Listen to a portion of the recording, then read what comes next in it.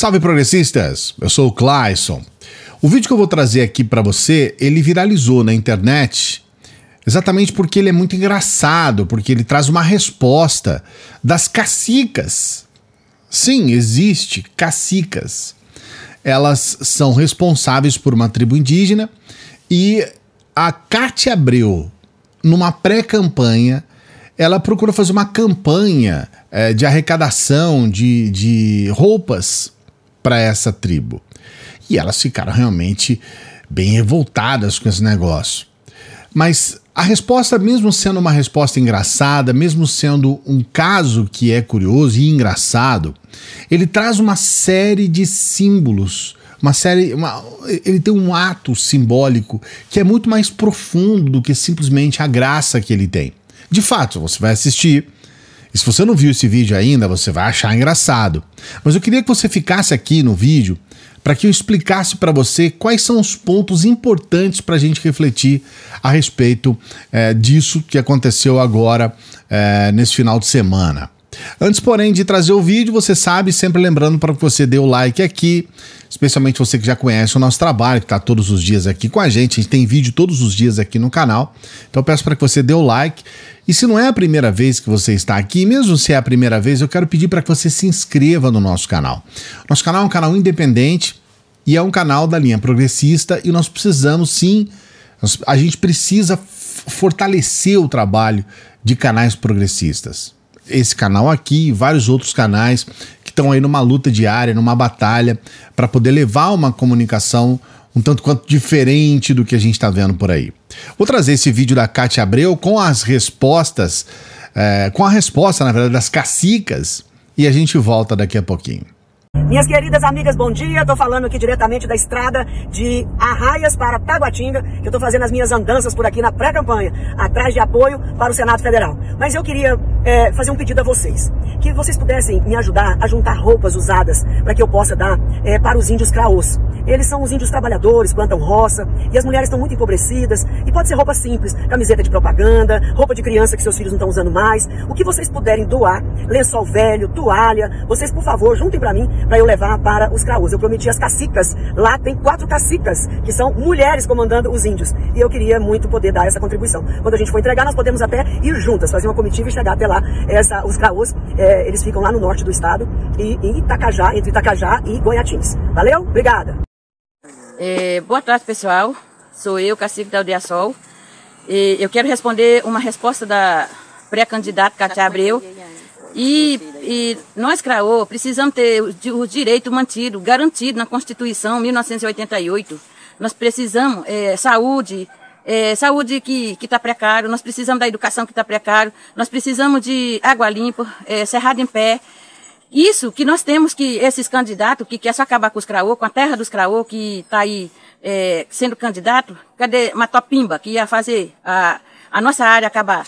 Então, Cátia Abreu, você é candidato, você é estudado, mas tem muito craô que não fica pedindo roupa velha assim não. Nós temos é, algum é, dinheirinho que nós trabalhamos para comprar nossas roupas novas. E vocês, que, quer do, que você quer uma doação, você não tem vergonha de carregar roupa velha não, é, Cátia Abril? Quantos dinheiro que o governo, que vocês como senador, parlamentar, que ganham a emenda, cadê vocês? Você só aparece quando está quando está sendo candidato para você enganar os índios e depois fazer lei contra nós, contra nós indígenas do Tocantins? Que eu já presenciei suas palavras e seus é, documentos é, na lei para nós, Craô. Então eu acho que você precisa pensar mais, porque não é todos cacique Craô que apoia você. Aqueles que não sabem entender, que apoia vocês, você engana com qualquer coisa e, e fala que tá, tá ajudando. E fica falando negócio de, de roupa velho, não é isso não. Se você tem o dinheiro, por que, que você não dá coisa nova? Eles não precisam só de roupa, eles precisam de várias coisas. É engraçado, porque a resposta é espontânea, né? Um murro na cara. Olha aqui, ó. A gente não precisa de roupa velha aqui, não. A gente tem condições de comprar essas roupas aqui. Mas eh, quais são os pontos que eu considero fundamentais para a gente refletir?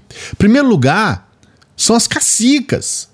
Veja bem, até bem pouco tempo atrás eu nem sabia que havia feminino de cacique. Sim, o feminino de cacique é cacica.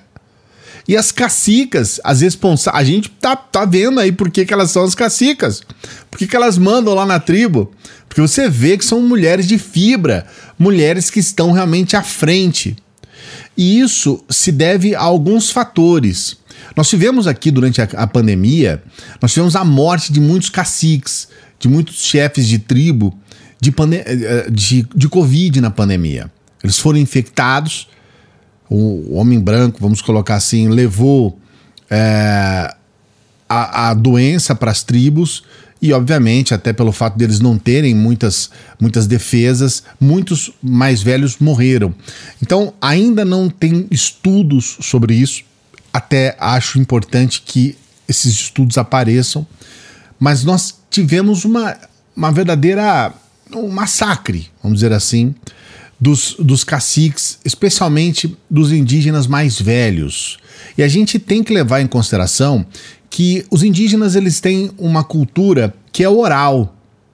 Então eles passam o seu conhecimento de forma oral. Quando você tem a morte de um cacique, você, quando você tem a morte de um pajé, quando você tem a morte de um, de um indígena mais velho, você indiretamente tá, ou diretamente até, né? Você tem também a morte de parte substancial daquela cultura. E a gente deixou isso passar, né? A gente, a gente praticamente não, não teve noção realmente do que de fato aconteceu, o que é uma pena. Uma outra questão é o que está acontecendo ainda com as tribos indígenas no Brasil. Nós tivemos um, um, uma situação de descalabro, nós tivemos assim um desmonte das uh, políticas públicas voltadas para os povos originários, que estão praticamente abandonados.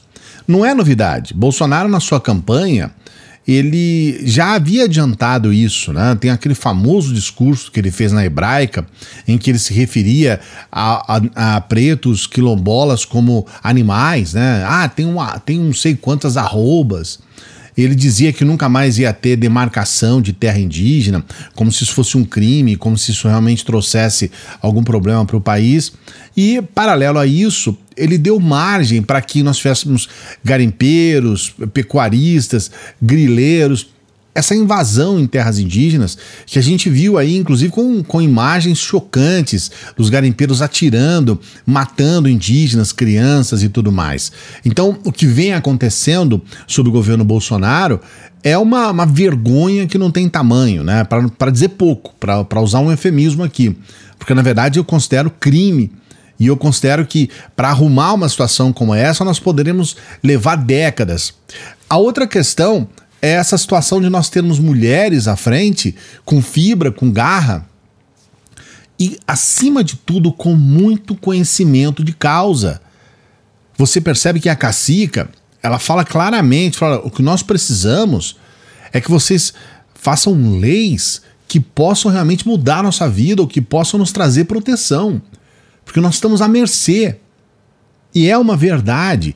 Você percebe a, a visão, o conhecimento, a sabedoria dessa mulher.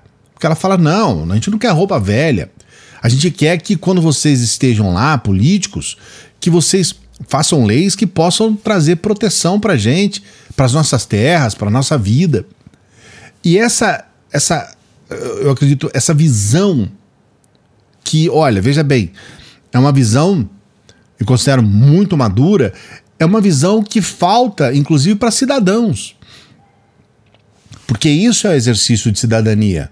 É você entender que os políticos estão lá para melhoria de vida da população. Não simplesmente para defender uma ou outra besteira qualquer ideológica, imbecil.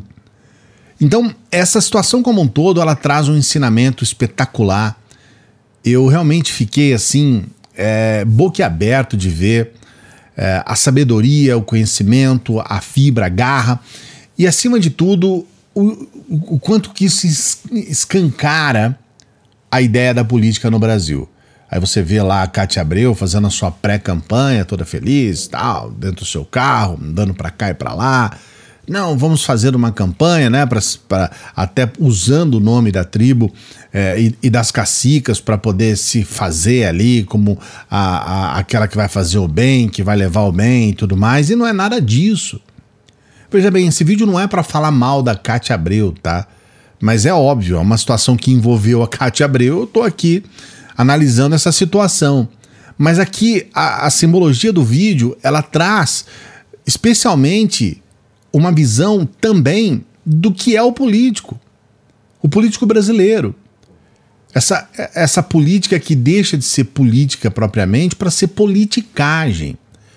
Essa politicagem é, muitas vezes sensacionalista, esse populismo barato, essa coisa de se fazer de, de, de sabe, de bonzinho, mas que por trás está prejudicando, está tá acabando com a vida das pessoas. Olha, eu acho até que você possa ter tido outras conclusões e possa ter pensado em outras questões na análise de um vídeo como esse, além de você ter dado as suas risadas aí. E por isso eu peço para que você escreva aqui no seu comentário o que, que você tira é, de conclusão a respeito de tudo isso. Qual é o seu pensamento a respeito disso, para que a gente possa utilizar um vídeo que viralizou por ser engraçado, mas para que a gente possa, por intermédio desse vídeo, pensar o nosso país. Coloque seu comentário aqui. Não se esqueça de dar o like no vídeo, seu like é fundamental. Outros brasileiros, como você, podem acompanhar esse vídeo também. E a gente sempre pede para você que chega no final do vídeo para que você se inscreva no nosso canal, porque a sua inscrição é fundamental para o nosso trabalho, é fundamental para o nosso trabalho. E você pode nos ajudar. Você pode ser um membro do canal, você pode nos ajudar com o Apoia-se. A gente sempre pede para você nos ajudar. Se você estiver em qualquer lugar do mundo, você pode nos ajudar com o PayPal, ou mesmo com o PicPay e também com o Pix, porque o Pix é, é a facilidade, né? Você pode pegar o seu celular agora, fazer uma doação aqui pra gente de qualquer valor, qualquer valor pelo Pix. E nós estamos precisando, esse final de mês, a coisa tá realmente complicada e a gente precisa da sua ajuda. Então, você que chega até o final do vídeo, se você puder, claro, e se você quiser, a gente pede para que você nos faça essa doação pelo Pix. Bom final de semana, um grande abraço. Até a próxima.